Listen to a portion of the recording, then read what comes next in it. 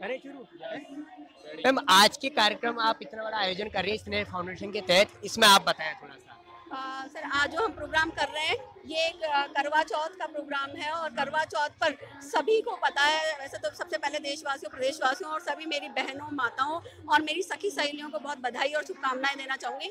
साथ ही मैं ना, आज करवा चौथ के मौके पे जो प्रोग्राम स्नेह फाउंडेशन की वजह से किया गया है, इसका सबसे मेन उद्देश्य जो है कि सत्तर साल में जो करवा चौथ आई है, ये बहुत ही शुभ है और शुभ के साथ है। मैं चाहती हूँ कि सब महिलाएँ एक साथ बैठकर अपनी समाज में भागीदारी तो दिखाए दिखाए साथ में वो है ना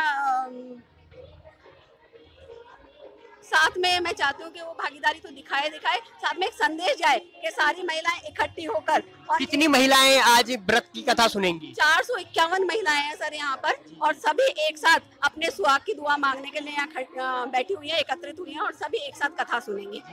अच्छा कथा सुनाने के लिए क्या आयोजन कोई आएँगे या क्या? है?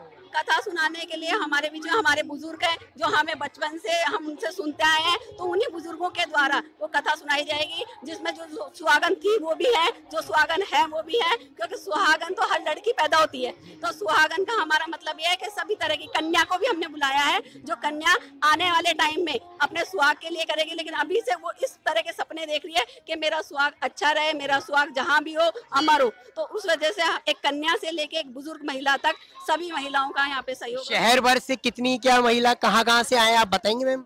सभी क्षेत्र से महिलाएँ आई हैं और चार सौ इक्यावन महिला जैसे मैंने आपको बताया था कि चार सौ इक्यावन से ज़्यादा है वैसे महिला लेकिन चार सौ इक्यावन महिलाएँ हैं जिनको हम आज कथा सुनाने जा रहे हैं और हमारा मकसद यहाँ पर सब एक ही है कि हम लोग समाज में एक भागीदारी रखते हैं बराबर की साथ ही हम अपने सुहाग के लिए अमर सुहाग के लिए यहाँ एक साथ प्रार्थना करेंगे। चौथ माता से। तो हम देख रहे हैं आज करवा चौथ त्योहार के अवसर पर हमारे साथ में मैम भी हैं क्या नाम है? मैं सविता शर्मा। जी मैम आज पूरे भारतवर्ष में करवा चौथ का त्योहार मनाया जा रहा है। इस उपलक्ष्य पे आप देशवासियों को क्या बताएँगे? इसके क्या महत्व है आप बताएँ मैम। सबसे पहले तो मैं आपको मेरा परिचय बता दूँ कि मैं सविता शर्मा प्रदेश अध्यक्ष सर्व ब्राह्मण महासभा हूँ। और स्नेहलता भारद्वाज जी ने ये जो आयोजन किया है ये बहुत साधुवाद के लायक है। और मैं तो यही कहूँगी कि ये हमारी भारतीय संस्कृति है जिसमें करवा चौथ को बिल्कुल निर्जला बिल्कुल बिना अन्न बिना जल के ये लोग करते हैं।